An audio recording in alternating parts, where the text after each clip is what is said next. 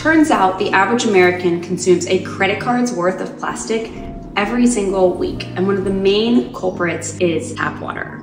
As a mom of two and a nutritionist, knowing that these contaminants are in our water is just something that I cannot ignore, especially for my children. I switched to Rorra's countertop filtration system a couple of months ago, and honestly, I'm obsessed. The water tastes amazing and they publish all their test results live on their website. So I feel really comfortable and confident for the first time that the drinking water is safe for my family.